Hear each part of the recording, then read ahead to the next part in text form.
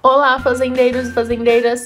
Sejam bem-vindos a mais um vídeo aqui do canal e hoje estou aqui para mostrar para vocês um tour pela churrasqueira, gente. Então se você gosta desse tipo de vídeo, já deixa o like aqui, se inscreve se você ainda não é inscrito e bora lá pro vídeo de hoje.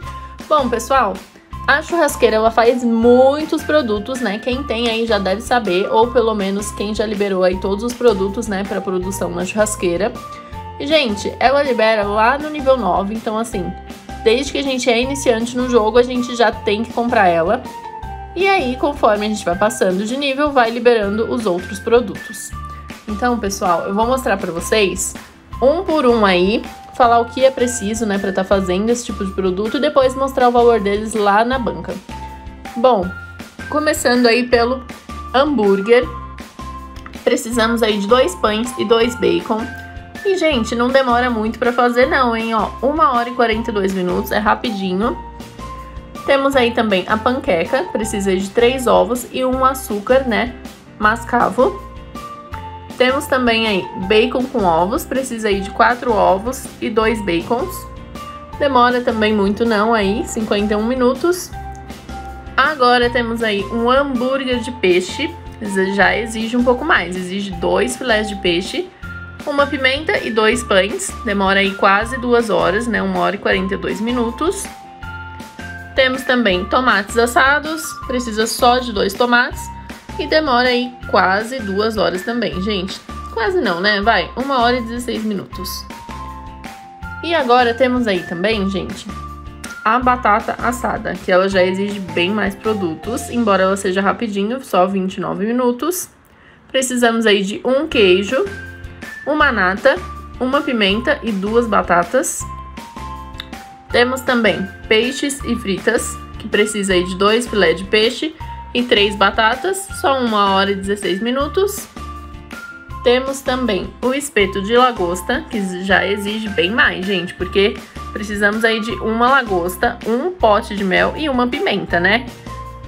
34 minutos, bem rapidinho para estar tá produzindo esse item, desde que você esteja aí com todos os produtos que ele exige para estar sendo feito. Temos também o pão de alho, quatro alhos, dois pães e uma manteiga. Gente, 12 minutos, é super rápido. Cebola grelhada, só 51 minutos, duas cebolas e uma manteiga. E aqui, por fim, não menos importante, temos os legumes assados, que precisa só de legumes, né, gente? Então, olha aqui. Duas batatas, duas abóboras, duas cenouras e duas beterrabas. E só 20 minutinhos, né? 21 minutos, é super rápido e só precisa de coisas que você consegue estar tá plantando, né, lá no sua fazenda, nas plantações. Então, assim, gente, é muito fácil de estar tá produzindo esse produto. Agora eu vou mostrar pra vocês. Ó, não liberei esse ainda, tá, gente? Então não tenho como falar com vocês pra ele, sobre ele. Mas eu vou mostrar todos esses que eu citei lá na banca, né, o valor mínimo deles e o valor máximo, para que vocês tenham noção aí de quanto que vale esses itens. Bom, pessoal, vou começar aí com vocês pelo hambúrguer, tá? Que ele é mais simples. Deixa eu encontrar aqui. Então, gente, um hambúrguer vale só 180 moedas e 10 hambúrgueres vale 1.800 moedas. A panqueca uma só 108 moedas e 10 panquecas 1080 moedas. Também não é muito, né, gente? Bacon e ovos, que vocês estão cansados de ver na banca, porque muita gente produz para estar tá vendendo. Um vale 201 moedas e 10, 2.016 moedas. Então, gente, até que vale bastante por isso que muita gente costuma estar tá produzindo para vender, mas é uma coisa que está bem saturada, né, no jornal. Muita gente acaba nem produzindo porque sabe que vai encontrar lá no jornal a hora que quiser. E também muita gente que produz acaba ficando com eles parados lá no jornal, na banca, né, porque ninguém nem compra. E agora eu vou mostrar para vocês o hambúrguer de peixe.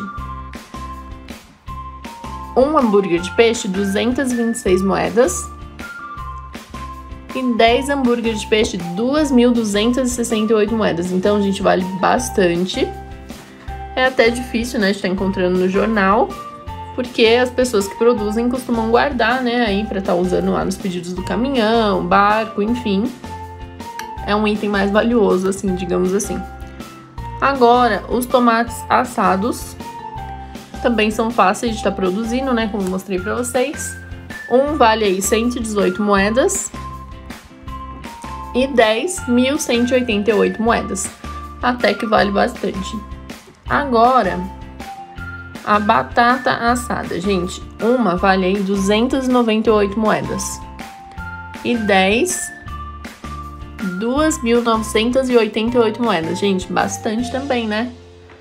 Agora, deixa eu procurar o peixes e fritas. Temos aqui, então, um valendo aí 244 moedas.